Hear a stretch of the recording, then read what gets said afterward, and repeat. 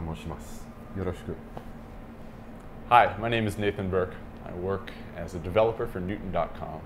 We're both here to talk to you today about English and standardized tests. Yeah, what he said.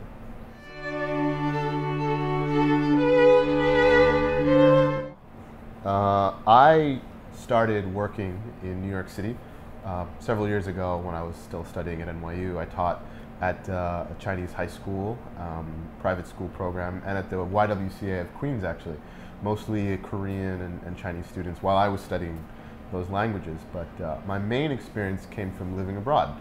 I lived in Tokyo for three years and uh, worked with thousands of students at private schools, public schools, business classes, all kinds of programs while I was uh, writing and, and, and, studying.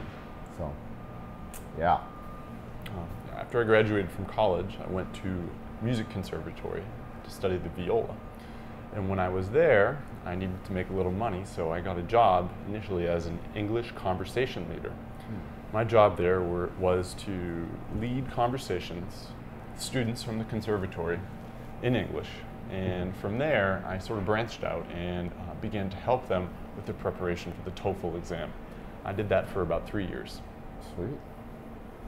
What were some of the challenges that struck you immediately?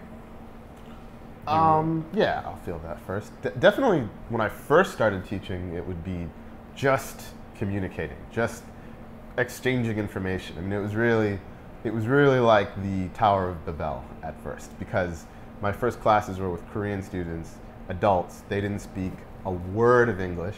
I didn't speak one word of Korean. It was, it was madness. It was, it was really difficult. But, you know, we worked through it. We used a lot of gestures. We memorized some basic phrases, and, and gradually it became a lot of fun. So, you know, depending on the level of the students, communication is the first challenge, definitely.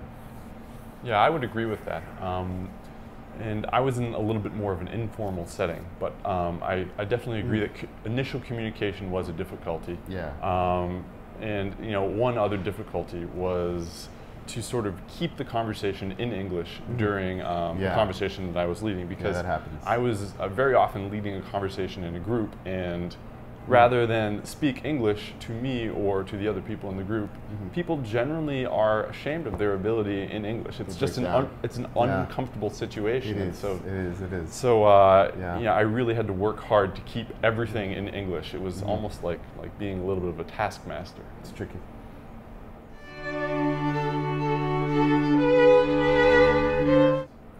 Yeah, this is um, this is a good question. The, the first thing I would say definitely is that any foreign student or ESL student that's planning to take the SAT or the GMAT, LSAT, uh, I have a lot of respect for you because it is very difficult. Those tests demand English ability that challenges even native speakers, the kinds of questions they ask. And uh, to, to try to take one of those tests with the disadvantage of having to learn English as well is, I have a lot of respect for that. And um, you know, I, have been through that myself when I was in Japan. I took the, uh, the JLPT, the Nihongo Kentei, uh, which is the official language test there, and it was a struggle. And I took a few other certification tests in Japanese. So believe me, I know it's, it's very hard. Um, the first thing I would say is that you have to really consider your own goals when you're planning for one of these standardized tests.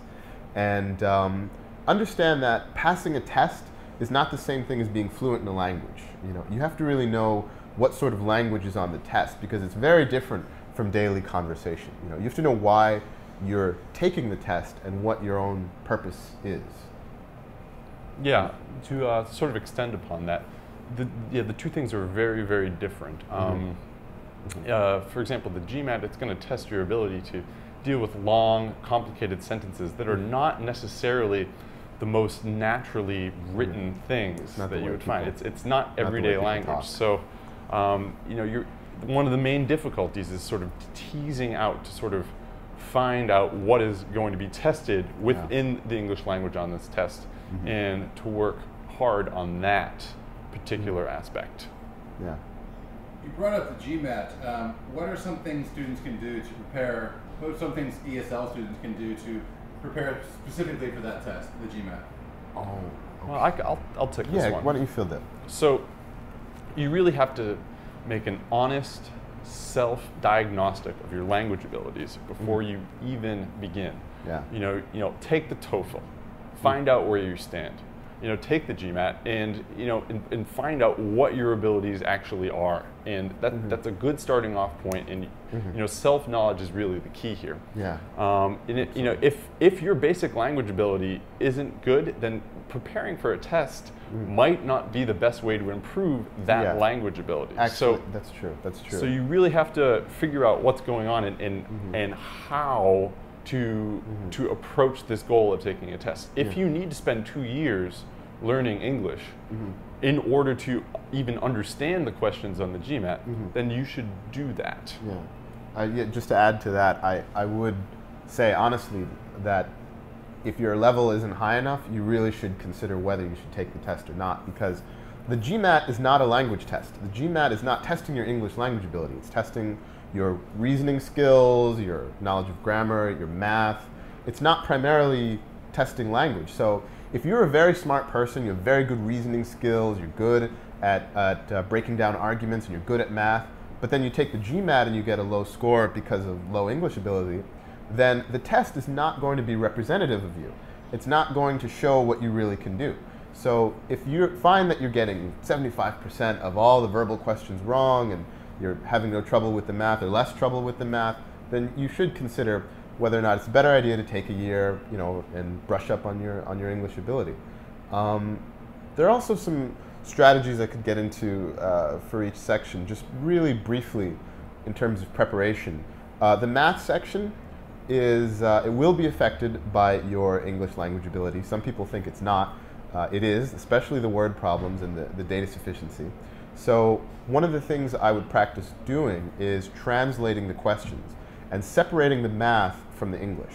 Um, even if you're an advanced speaker, you're still going to be doing math operations using your native language. This is something I found studying Japanese and Chinese. No matter how good you get, I do math in English. That's just, it works faster that way. I wouldn't recommend translation for other parts of the test, but for math, it can be a good idea. Practice doing that. You can practice translating problems or um, do some practice problems and then you know, try to tease out just the pure computation of it. For the CR and RC, these are uh, reading comprehension and, uh, and breaking down arguments, analysis. They're not primarily uh, comprehension questions, they're more logic questions. It's, they're focused on the global aspects of a passage or a, or a short paragraph. So um, it's okay if you don't know every word. In fact, these questions, they, um, they don't expect you to know every word. They use a lot of very esoteric, strange topics, technical topics. They don't expect you to know all of the vocabulary. So if you don't understand a specific word, keep going. Um, one thing I would recommend is looking at the questions if you get confused, and try to prep. We're talking about prep. Try to worry about global meanings. Which the best way to prep for that is to read newspaper articles, magazine articles. I would recommend going online and reading uh, editorials, something with an opinion, and then going to the comments section and seeing how people are analyzing and breaking down the arguments, looking at the assumptions, looking at uh, strengthening or weakening an argument. This is what you'll get from that. And that'll help with CR and RC. And then finally, for the SC, uh, the sentence corrections, uh, this section will test specific, very obscure and, and difficult rules of, of English grammar. And, and this is a tricky section because some of the things they test are things that high school English teachers and professional writers don't know. They make mistakes. So uh, with this section, um, that, that's the bad part about it. But the good part about it is because it tests these esoteric rules, it's actually very vulnerable to just rigorous practice. If you just do a lot of practice questions, you'll start to see the patterns. It's, it's easier to memorize than RC logic, sort of global things where you can infer one way. When you're talking about specific rules, parallelism, use of that, if you do 300, 400 practice questions, which is not fun, but if you do hundreds of practice questions, um, I guarantee when you take the test, there won't be anything you haven't seen. So the best way to practice for the SC is just brute force, do as many as you can.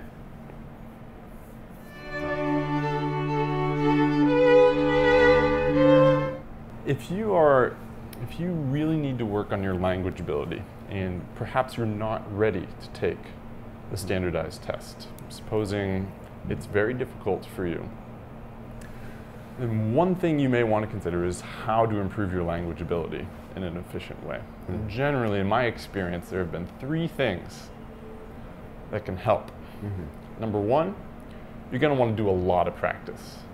You know, raw number of hours, the Mm. total amount of time that you spend immersed in this language. I mean, there's a reason why they call it immersion. That is definitely going to be reflected in your in your total language abilities mm-hmm. um, while you prepare. Number two, you're going to want to have your preparation be across a range of different experiences. So, not just reading, mm. not just writing, mm. and not just speaking and listening. You're going to want to do all, all three of those things. You're going to want to use your eyes, your mouth, mm. and your ears. Language is it's a thing that, that really crosses all of the senses, and you want to involve as many of them as possible. The third thing is you got to make it fun.